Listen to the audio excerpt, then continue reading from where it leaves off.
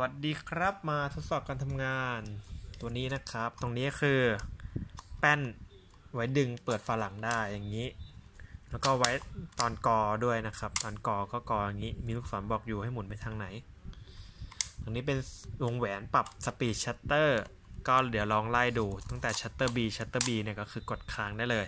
พอปล่อยนิ้วปุ๊บมันก็ค่อยดีดกลับลงมา ลอง speed ต่ำๆก่อน เอ่อไอพวก speed ชัตเตอร์เนี่ยมันขึ้น มันมีผลต่อรูปที่เราได้ด้วยนะครับ ยิ่งสูงเนี่ยก็ยิ่งแบบ snap อะไรแบบได้ง่ายกว่า แบบภาพที่มันเคลื่อนไหวเร็วอะไรเงี้ยนะครับ แต่ว่าถ้า จะอยากจะใช้ต่ำๆจริง ๆ เนี่ย มันในนี่นะครับ อยากใช้ต่ำๆจริงๆเนี่ยก็ควรใช้คู่ขาตั้งกล้องว่าสายลั่นชัตเตอร์นะครับ มันจะดีกว่าเราใช้มือถือแบบถ่ายธรรมดามันจะเบลอนะครับ เคส่วนปรับ ISO ก็ดึงตรงนี้ขึ้นแล้วหมุนนะครับ ตรงนี้เป็นการขึ้นฟิล์มต้องขึ้นให้สุดนะครับ ถึงจะกดถ่ายได้ถ้าขึ้นไม่สุดเนี่ยจำลองให้ดูนะครับ มันก็จะกดลงไม่ได้ต้องขึ้น มันก็ชดเชยอีกนิดนึงปุ๊บอ่าส่วนตรงนี้เป็นเลขนับฟิล์มเลื่อนตรงนี้แล้วกด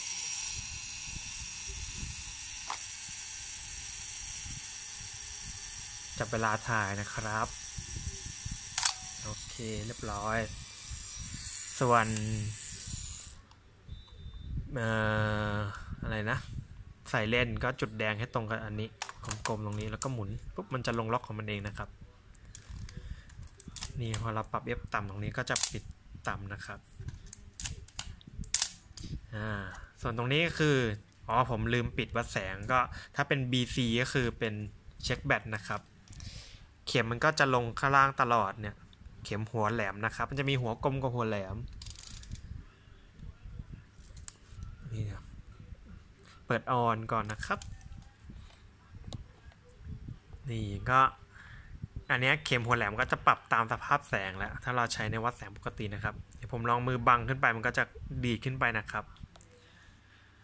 ถ้าแสงมันมากกว่านี้เข็มมันก็จะยิ่งลงไปมากกว่านี้นะ ลองโฟกัสใกล้ๆ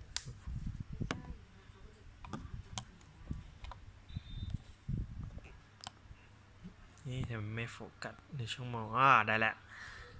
ส่วนวิธีวัดแสงของตัวนี้ก็คือทำให้มันทับซ้อนกันพอดีนะครับปุ๊บอย่างนี้ก็คือวัดแสงพอดีนะครับ